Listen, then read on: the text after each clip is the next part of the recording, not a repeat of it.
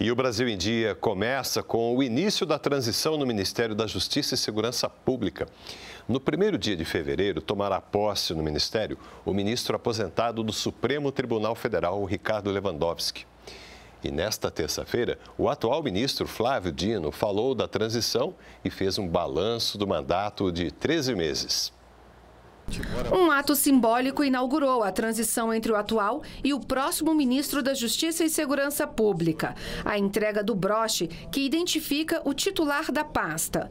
No encontro, Flávio Dino destacou o espírito de união da equipe, expresso principalmente após os atos do 8 de janeiro de 2022. São pessoas que têm também vasta experiência nas, em partidos, movimentos, entidades, serviço público, todos estão aqui por mérito. Ricardo Lewandowski assume oficialmente o Ministério da Justiça e Segurança Pública no dia 1 de fevereiro, mas ele já adiantou uma das prioridades da gestão.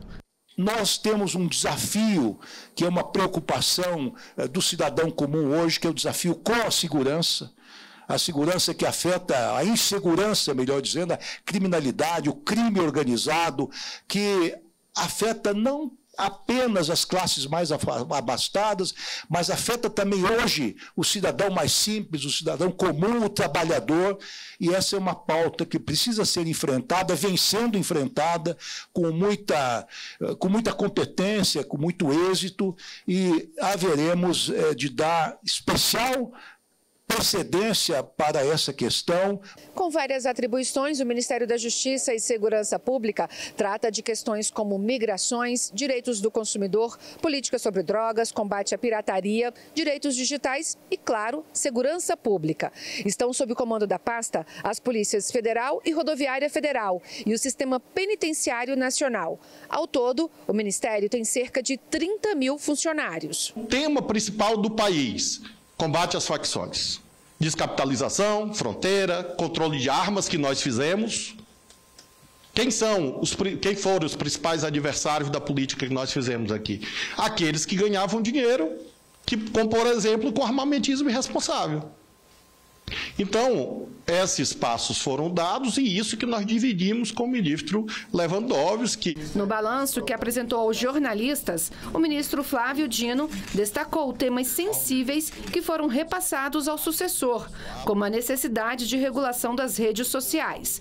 Sobre segurança pública, o ministro afirmou ser preciso tirar do papel uma política nacional para enfrentar o crime organizado. É preciso compreender que o Brasil é, nunca teve, a rigor, uma política nacional de segurança pública, porque prevaleceu a visão federativa de isso ser primordialmente atribuição dos estados.